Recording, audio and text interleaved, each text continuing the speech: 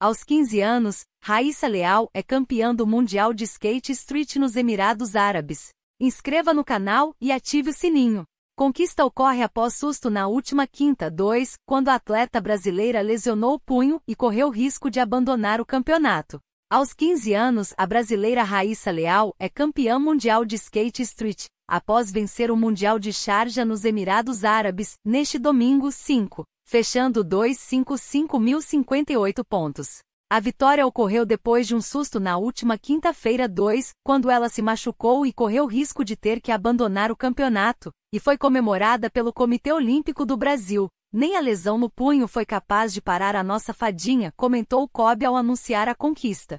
O segundo lugar ficou com a australiana Chloe Covell, que somou 253.051, seguida da japonesa Momiji Nishia, que teve 253,30. Informação do site bahia.ba. Deixe seu like e obrigado.